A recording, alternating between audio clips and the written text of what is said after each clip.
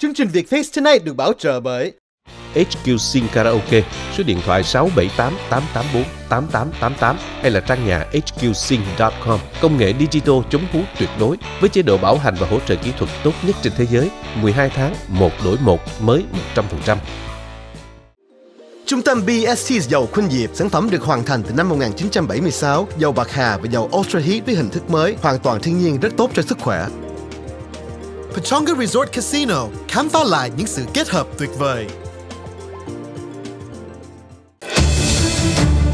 Đây là chương trình Việt Face Tonight với anh Dũng và Thanh Thảo. Kính chào toàn thể quý khán giả. Mời quý vị đến với chương trình Việt Face Tonight. Kính mời quý vị cùng theo dõi phần tin tức buổi tối ngày hôm nay, ngày 22 tháng 3, 2024. Và bây giờ là các bản tin chính. Hội đồng Bảo an Liên Hợp Quốc bác bỏ dự thảo nghị quyết ngưng bắn tại Gaza của Hoa Kỳ. Ngoại trưởng Blinken tay trắng rời Israel sau khi Tel Aviv bác lời yêu gọi hủy cuộc tấn công Rafah. Công chúa Catherine của Vương quốc Anh thông báo mắc bệnh ung thư. 40 người thiệt mạng sau khi ISIS tấn công vào khu hòa nhạc tại Moscow. Hạ viện Hoa Kỳ thông qua dự luật ngân sách chi tiêu để tránh việc chính phủ đóng cửa. Majority Taylor Greene nộp kiến nghị phế truất Chủ tịch Hạ viện Mike Johnson. Dược phòng Eli Lilly cảnh báo nguồn cung sản phẩm insulin thiếu hụt. Và dân biểu Mike Gallagher xác nhận sẽ từ chức ngày 19 tháng 4 năm 2024, sớm hơn dự tính. Cuối cùng là bản tin chứng khoán với chuyên gia đầu tư tài chính Thanh Thảo. Và bây giờ, Thanh Thảo sẽ bắt đầu cho phần tin chi tiết. Bản tin đầu tiên là Hội đồng Bảo an Liên Hợp Quốc đã bác bỏ dự thảo nghị quyết ngưng bắn tại Gaza của Hoa Kỳ. Đại sứ Nhật Bản tại Liên Hợp Quốc kêu gọi bỏ phiếu về dự thảo nghị quyết ngưng bắn ngay lập tức và lâu dài tại Gaza được Hoa Kỳ hậu thuẫn. Hội đồng Bảo an Liên Hợp Quốc một lần nữa đã không thông qua được nghị quyết với kết quả là 11 phiếu ủng hộ nghị quyết và một phiếu trắng từ Guyana trên tổng số 15 phiếu bầu. Trung Quốc, Nga và Algeria đã bỏ phiếu chống nhưng chỉ có Trung Quốc và Nga có quyền phủ quyết trong Hội đồng Bảo an. Đại sứ Hoa Kỳ tại Liên Hợp Quốc là bà Linda Thomas Greenfield đã tỏ ý thất vọng về kết quả này và nói về quyền phủ quyết rằng Nga và Trung Quốc vẫn chưa thể lên án vụ tấn công khủng bố của Hamas vào ngày 7 tháng 10. Nga và Trung Quốc từ chối lên án Hamas vì tội thiêu sống người dân, bắn chết thường dân vô tội tại buổi ca nhạc, vì tội cưỡng hiếp phụ nữ và trẻ em gái, vì bắt hàng trăm người làm con tin. Đây là cuộc tấn công đẫm máu nhất nhắm vào người Do Thái kể từ vụ thảm sát Holocaust thời đệ nhị thế chiến. Và một thành viên thường trực của hội đồng này thậm chí không thể lên án nó. Điều này thực sự quá đáng. Nghị quyết này đã kêu gọi ngưng bắn ngay lập tức và lâu dài kéo dài khoảng 6 tuần lễ để bảo vệ thường dân và cho phép cung cấp hỗ trợ nhân đạo. Các nhà ngoại giao cho biết Hội đồng Bảo an Liên Hợp Quốc sẽ họp vào lúc 10 giờ sáng, giờ Đông Bộ Hoa Kỳ vào ngày thứ Bảy để bỏ phiếu về một nghị quyết thay thế do các thành viên được bầu của Hội đồng Bảo an soạn thảo. Nghị quyết đó yêu cầu ngưng bắn ngay lập tức trong tháng chay Ramadan của người Hồi giáo hiện nay, thả tất cả con tin và mở rộng dòng viện trợ nhân đạo tới Gaza. Dự thảo không bao gồm các điều khoản hỗ trợ các nỗ lực ngoại giao đang diễn ra nhằm bảo đảm lệnh ngưng bắn là một yếu tố trong nghị quyết của Hoa Kỳ. Washington hiện nay đang làm việc với Qatar và Ai Cập để cố gắng đạt được một thỏa thuận. Thứ sáu là lần đầu tiên mà Washington ủng hộ một văn bản đưa ra biểu quyết có chứa đựng chữ ngừng bắn trong cuộc chiến ở Gaza, phản ánh lập trường cứng rắn của chính quyền Biden đối với Israel. Cũng liên quan đến tình hình tại Do Thái, thưa quý vị, Ngoại trưởng Hoa Kỳ ông Antony Blinken ngày hôm nay thứ Sáu lại một lần nữa phải rời khỏi khu vực Trung Đông với hai bàn tay trắng. Sau khi Thủ tướng Israel đã bác bỏ lời kêu gọi của Hoa Kỳ về việc hủy bỏ một cuộc xâm lược trên bộ vào thành phố Rafah nằm tại phía nam giải Gaza, nơi hiện nay đang tràn ngập các thường dân đã phải di tản đang tạm trú. Thông điệp cứng rắn của Thủ tướng Benjamin Netanyahu của Do Thái đã tạo tiền đề cho các cuộc đàm phán có thể sẽ khó khăn hơn vào tuần tới, sẽ diễn ra tại Washington DC giữa các quan chức hàng đầu của Hoa Kỳ và phái đoàn cao cấp của Israel. Ông Netanyahu cho biết rằng Israel sẵn sàng làm việc một mình ở giải Rafah nếu như cần thiết, bất chấp những khác biệt chính quyền Biden vẫn tiếp tục cung cấp viện trợ quân sự quan trọng và hỗ trợ ngoại giao, ngay cả khi cuộc chiến của Israel chống lại Hamas đã giết hơn 32.000 người tại giải Gaza và đã đưa đến một cuộc khủng hoảng nhân đạo ngày càng trở nên tồi tệ. Israel cho biết Rafah là thành trì cuối cùng còn sót lại của lực lượng Hamas và nói rằng lực lượng của nhóm chiến binh tại đó phải bị đánh bại để Israel đạt được các mục tiêu chiến tranh của mình. Israel thề sẽ tiêu diệt Hamas sau cuộc tấn công diễn ra ngày 7 tháng 10 của nhóm này đến Israel. Hiện nay Rafah đang che chở cho hơn một triệu người Palestine vô gia cư chạy trốn chiến sự ở những nơi khác tại giải Gaza đổ dồn về đó. Ông Netanyahu cho biết ông nói với Ngoại trưởng Blinken rằng Israel đang tìm cách để di tản thường dân ra khỏi các khu vực chiến sự và sẽ giải quyết tất cả các nhu cầu liên quan đến vấn đề nhân đạo ở giải Gaza. Khi đi lên trên đường ra máy bay trong ngày hôm nay, Ngoại trưởng Blinken đã nói theo đánh giá của chúng tôi thì một chiến dịch lớn trên bộ ở Rafah không phải là cách để có thể đạt được cái việc là tiêu diệt Hamas. Chúng tôi rất rõ ràng về điều này. Ông nói, chúng tôi cũng đã bàn về Rafah cùng với ông Netanyahu. Chúng tôi chia sẻ mục tiêu của Israel là đánh bại Hamas, nhóm chịu trách nhiệm chính về vụ thảm sát người Do Thái. Và chúng tôi cũng chia sẻ mục tiêu phải bảo đảm an ninh lâu dài của Israel. Như chúng tôi đã nói, đây là một căn cứ quân sự lớn. Tuy vậy, không phải là cái việc thực hiện một cuộc chiến ở trên bộ tại giải Rafah là một giải pháp. Và như vậy thì ông Blinken đã rời khỏi Israel và chưa đạt được bất kỳ một thỏa thuận nào để ngăn chặn Israel sẽ tiến hành một cuộc tấn công vào Rafah. Sang có bản tin về việc công chúa Catherine của Vương quốc Anh thông báo mắc bệnh ung thư. Catherine là công chúa xứ Wales của Vương quốc Anh đã tiết lộ hôm thứ Sáu rằng bà được chẩn đoán mắc bệnh ung thư và hiện nay bà đang ở giai đoạn đầu của quá trình hóa trị. Tin tức đã được công bố trong một tin nhắn video đã hai tháng kể từ khi Catherine tạm thời rút lui khỏi cuộc sống công cộng để được giải phẫu vùng bụng. Người phụ nữ 42 tuổi này, mẹ của ba người con và trong hàng ngũ để trở thành Hoàng hậu Đức Anh, cho biết tin tức này đã gây bàng hoàng cho bà. Bà nói thêm, vào tháng riêng tôi đã trải qua một cuộc phẫu thuật bụng tại London và vào thời điểm đó người ta cho rằng tình trạng của tôi không phải là ung thư. Cuộc giải phẫu đã thành công. Tuy nhiên, các xét nghiệm hậu phẫu thuật cho thấy có sự hiện diện của ung thư. Công chúa Catherine không tiết lộ loại bệnh ung thư nào và đã ở giai đoạn nào. Bà chỉ nói bà đã trải qua quá trình hóa trị để đề phòng ngừa và bắt đầu liệu pháp này. Việc chẩn đoán bệnh ung thư của công chúa Catherine là một đòn tàn khốc đối với chế độ quân chủ Anh vì quốc vương Charles đệ Tam cũng đang điều trị một căn bệnh ung thư không được xác định. Chẩn đoán của ông được cung điện Buckingham công bố đầu tháng 2. Thời gian điều trị theo dự kiến của bà Catherine vẫn chưa rõ ràng. Bác sĩ Jonathan Reiner, Bệnh viện Đại học George Washington đã giải thích thời gian không chỉ phụ thuộc vào loại ung thư được phát hiện mà còn có thể phụ thuộc vào mức độ lan bệnh. Trong thông điệp video, bà Catherine kể về những đứa con của mình, nói rằng cần có thời gian để giải thích mọi chuyện cho George, Charlotte và Louis và để chấn an họ rằng bà sẽ bình ổn.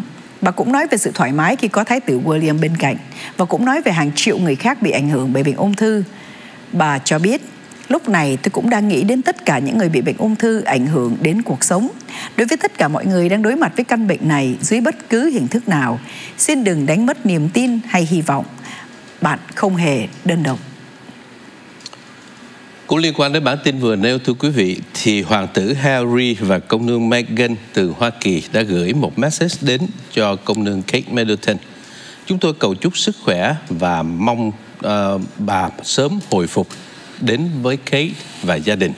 Đồng thời hy vọng là họ có thể làm điều đó một cách riêng tư và bình yên nhất như có thể. Đó là lời chúc của hoàng tử Harry và công nương Meghan.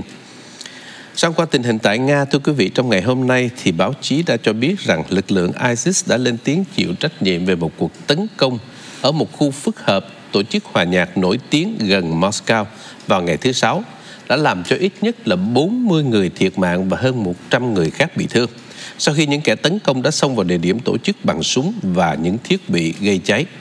Nhóm khủng bố đã lên tiếng nhận trách nhiệm về vụ tấn công trong một tuyên bố ngắn do hãng thông tấn Amac liên kết với ISIS đăng trên Telegram vào ngày thứ Sáu.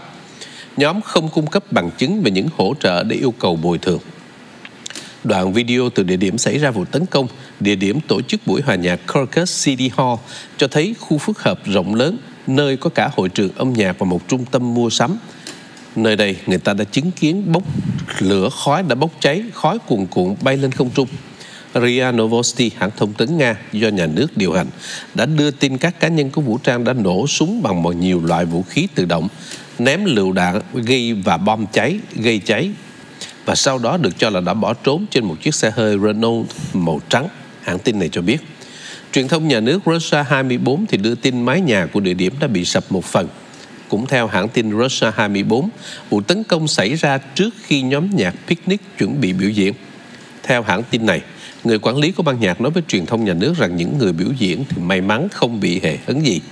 Trong khi đó, hãng thông tấn TASS của Nga thì cho rằng văn phòng tổng công tố Nga cho biết những người không rõ danh tánh mặc đồ ngụy trang đã đột nhập vào tòa thị trấn Krokus bắt đầu nổ súng trước khi buổi hòa nhạc diễn ra.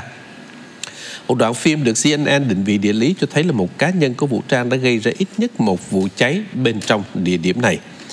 Liên quan đến tình hình này thưa quý vị, trong bài phát biểu hôm thứ Ba trước cơ quan an ninh liên bang Nga, Tổng thống Putin đã gọi những cảnh báo của Đại sứ quán Hoa Kỳ về những cuộc tấn công khủng bố tiềm tàng tại Moscow là khiêu khích và nói rằng những hành động này giống như những hành động tống tiền trắng trợn và có ý định đe dọa gây bất ổn cho xã hội chúng ta. Trước cuộc vụ tấn công này, Tòa đại sứ Hoa Kỳ và tình báo Hoa Kỳ đã cảnh báo chính quyền Nga về một khả năng tiềm tàng có thể có một cuộc khủng bố sắp diễn ra tại Moscow và ông Putin đã trả lời như vậy. Đại sứ quán Mỹ tại Moscow vào ngày hôm nay thứ Sáu cho biết là họ đã biết về các báo cáo về vụ khủng bố diễn ra ở tòa thị chính Caracas và khuyên công dân Mỹ không nên đến Nga.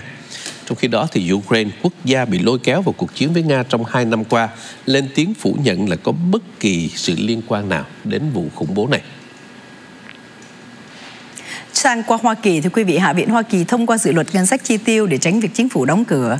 Ngày thứ Sáu, Hạ viện đã thông qua một dự luật ngân sách khổng lồ trị giá 1.200 tỷ Mỹ Kim để tài trợ cho phần còn lại của chính phủ liên bang. Nhưng điều này đã xảy ra trong bóng tối của một màn kịch mới trong nội bộ của Đảng Cộng Hòa và là một mối đe dọa đối với sự lãnh đạo của Chủ tịch Hạ viện Mike Johnson. Thượng viện hiện có thời gian cho đến nửa đêm nay để hoàn tất thỏa thuận tài trợ để tránh việc đóng cửa một phần của chính phủ. Các nhà lập pháp trên đối đồi thủ đô đã dành cả ngày thứ Sáu để tranh luận nhằm thông qua dự luật tài trợ, trong đó bao gồm tài trợ cho một số hoạt động quan trọng của chính phủ như Bộ Quốc phòng, Nội an, Lao động, Y tế và Dịch vụ Nhân sinh, Giáo dục, Tiểu bang và ngành lập pháp. Dân biểu Andy Barr, Đảng Cộng hòa đại diện Kentucky cho biết có cái tốt và cũng có cái xấu, nhưng đó là một sự thỏa hiệp lưỡng đảng. Dân biểu Elisa Slotkin, Đảng Dân Chủ đại diện Michigan thì xác định chúng tôi không muốn chính phủ đóng cửa, chúng tôi sẽ bỏ phiếu cho vấn đề này ngay cả khi nó không hoàn hảo. Quyết định thông qua dự luật ngân sách tại Hạ viện đã tạo ra sự hỗn loạn trong nội bộ Đảng Cộng Hòa và khiến cho nữ dân biểu Marjorie Taylor Greene đưa ra kiến nghị bất ngờ nhằm lật đổ Chủ tịch Hạ viện của Đảng Cộng Hòa Mike Johnson.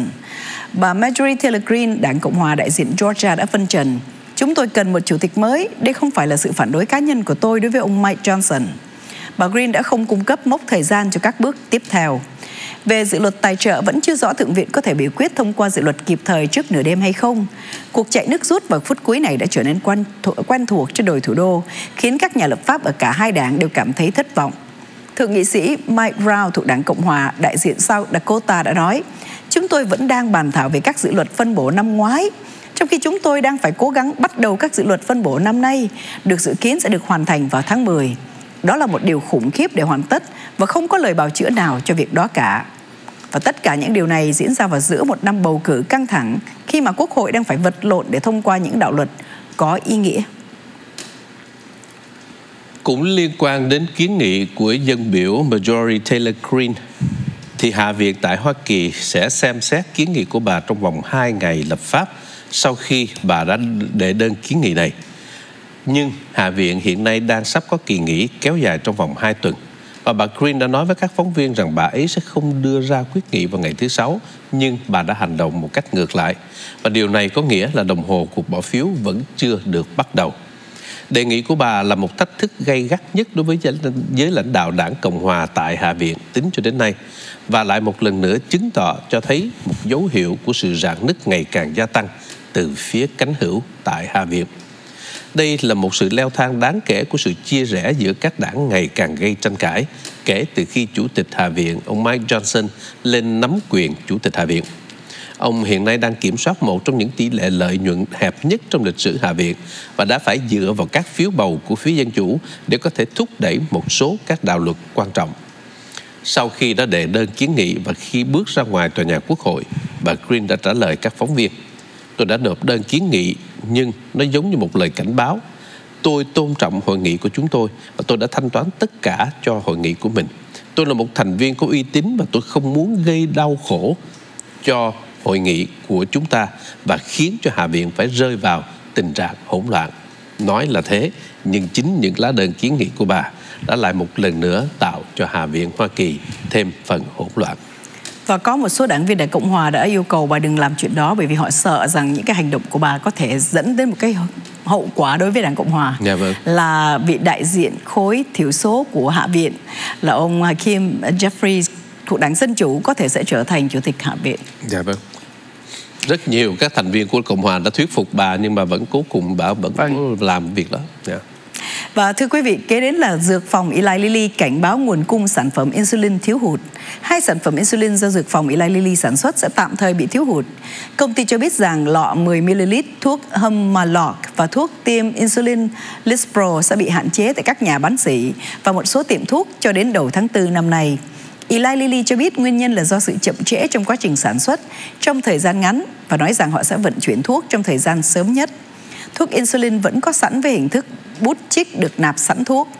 Nếu như quý vị gặp khó khăn trong việc mua thuốc theo toa thì công ty Eli Lilly cho biết quý vị nên kiểm tra các tiệm thuốc Tây khác nhau hoặc là liên lạc với nhà cung cấp dịch vụ chăm sóc sức khỏe của quý vị để thảo luận về những lựa chọn điều trị thay thế khác. Theo Hiệp hội Tiểu đường Hoa Kỳ, hơn 8 triệu người ở Mỹ dựa vào insulin để sinh tồn. Cũng liên quan đến tình hình Hạ viện Hoa Kỳ, thưa quý vị, dân biểu đảng Cộng hòa ông Mike Gallagher của Wisconsin đã tuyên bố sẽ từ chức sớm tại Quốc hội và một lần nữa lại gió thêm, dán thêm một đòn vào Chủ tịch Mike Johnson và phe Cộng hòa hiện nay đang chiếm đa số mỏng manh tại Hạ viện. Trong một tuyên bố thì dân biểu Gallagher xác nhận là ông sẽ từ chức và bắt đầu điều này có hiệu lực từ ngày 19 tháng 4. Ông đã không nêu lý do từ chức nhưng cho biết là đã đi đến quyết định sau những xa tham vấn cùng với gia đình. Hạ viện hiện nay có 3 ghế trống do hai đảng viên đảng Cộng Hòa và một đảng viên đảng Dân Chủ để lại. Và dân biểu đảng Cộng Hòa Ken Buck của Colorado cho biết là ông sẽ rời quốc hội sau tuần này. Sau khi ông Buck và ông Gallagher rời đi, thì ông Mike Johnson sẽ chiếm đa số từ 217 đến 213. Có nghĩa là đảng Cộng Hòa chỉ có thể thua một phiếu bầu với sự tham dự đầy đủ và vẫn có thể thông qua luật. NBC News lần đầu tiên đưa tin về quyết định của dân biểu Gallagher và ông là chủ tịch Ủy ban tuyển chọn cao cấp đặc trách về vấn đề đảng Cộng sản Trung Quốc. Ông cho biết trong tuyên bố của mình, tôi đã hợp tác một cách chặt chẽ với lãnh đạo đảng Cộng hòa ở Hạ viện về mốc thời gian này và mong muốn được nhìn thấy Chủ tịch Mike Johnson sẽ bổ nhiệm một chủ tịch mới để có thể thực thi sứ mệnh quan trọng của Ủy ban tuyển chọn đặc trách về vấn đề đảng Cộng sản Trung Quốc. Và sau đây là phần tin chứng khoán với chuyên gia đầu tư tài chính Thanh Thảo. Chỉ số Dow Jones giảm hôm thứ Sáu nhưng đã đạt được tuần lễ tốt nhất trong năm sau những phiên giao dịch lập kỷ lục liên tiếp. Một lý do khiến cho thị trường lạc quan bắt nguồn từ cuộc họp của Quỹ dự trữ liên bang hồi trong tuần này. Ngân hàng Trung ương đã giữ nguyên lãi suất và bình luận từ Chủ tịch Fed Jerome Powell củng cố rằng việc cắt giảm lãi suất sẽ diễn ra trong năm nay, bất chấp các chỉ số lạm phát nóng gần đây khiến cho một số nhà đầu tư lo ngại về thời hạn nới lỏng chính sách tiền tệ đã bị trì hoãn FedEx đã tăng hơn 7% sau khi công bố lợi ích cao hơn ước tính trong khi Nike giảm 6.9% do sự dự báo đáng thất vọng và doanh số bán hàng tại Trung Quốc chậm lại. Lululemon giảm 15.8% do hướng dẫn yếu kém và tăng trưởng chậm lại tại Bắc Mỹ, ghi nhận ngày tồi tệ nhất kể từ tháng 3 của năm 2020. Tính trong tuần, S&P 500 đã tăng vào khoảng 2.3%, Dow Jones tăng 2% và Nasdaq tăng gần 2.9%. Các chỉ số chứng khoán lớp thị trường đóng cửa hôm nay, chỉ số Dow Jones giảm 305.47 điểm, tương đương với 0.77%, kết thúc ở mức 39.475.90. Chỉ số S&P 500 giảm 7.35 điểm, tương đương với 0.14%, kết thúc ở mức 5.234.18. Chỉ số Nasdaq tăng 26.98 điểm, tương đương với 0.16%, kết thúc ở mức 16.428.82. Giá vàng giảm 19.20 Mỹ Kim, tương đương với 0.88%, đóng cửa ở mức 2.165.50 Mỹ Kim một troy ounce. Giá dầu thô giảm 24 xu, tương đương với 0.30% và đóng cửa ở mức 80.83 Mỹ Kim một thùng. Thưa quý vị, vừa rồi là chương trình Việt Face Tonight với phần trình bày của anh Dũng và Thanh Thảo. Cảm ơn quý vị đã chọn xem chương trình này và kính chúc quý vị một cuối tuần an vui. Hẹn gặp lại trong thứ hai tuần tới. Xin kính chào tạm biệt.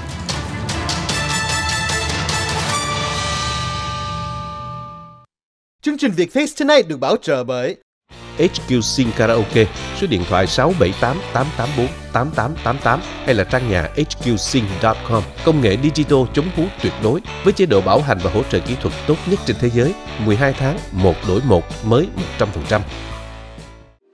Trung tâm BST dầu Khuynh Diệp, sản phẩm được hoàn thành từ năm 1976, dầu bạc hà và dầu Ultra Heat với hình thức mới, hoàn toàn thiên nhiên rất tốt cho sức khỏe. Pechonga Resort Casino, khám phá lại những sự kết hợp tuyệt vời.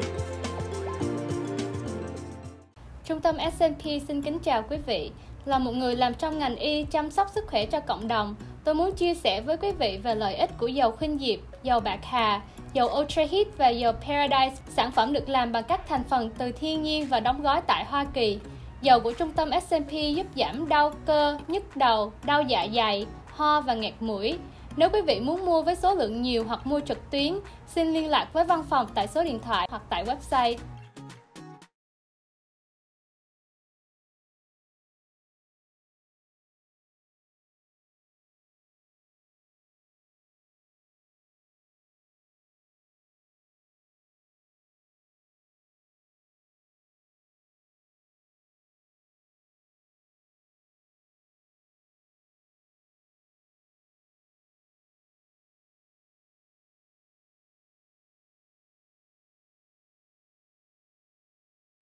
Để có một dàn karaoke ưng ý về chế độ bảo hành và phục vụ tốt nhất, xin vui lòng liên hệ HQ Sing Karaoke, số điện thoại 678 884 8888 hay là trang nhà hqsing.com với chế độ bảo hành và hỗ trợ kỹ thuật tốt nhất trên thế giới, 12 tháng, một đổi một, mới 100%, hỗ trợ kỹ thuật 24 trên 7, trọn đời. Công nghệ digital chống hú tuyệt đối, nhớ được nhiều cấu hình phù hợp cho nhiều giọng hát khác nhau, phối ghép rất phù hợp với các loại loa Mỹ JBL, Bose, QSC